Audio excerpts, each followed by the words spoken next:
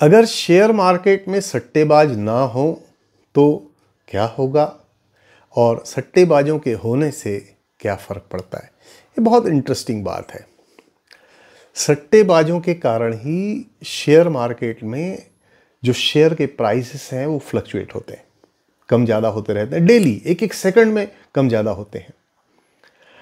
मान लीजिए आपके पास कोई कंपनी के एक हज़ार शेयर्स हैं और उसकी आज मार्केट वैल्यू है एक लाख रुपए।